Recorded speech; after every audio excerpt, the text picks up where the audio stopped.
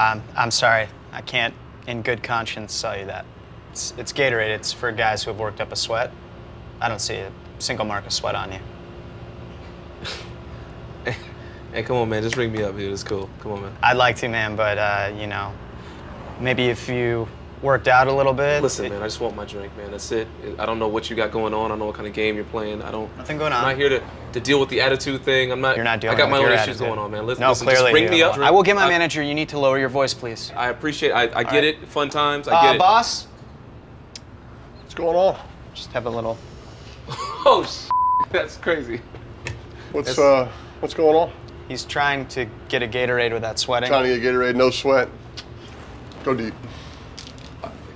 Just, just start running. serious? Start running. Go- A little sweat. Yep, right through there. Keep running. Get open. That's good. Just just keep doing the circle. Okay.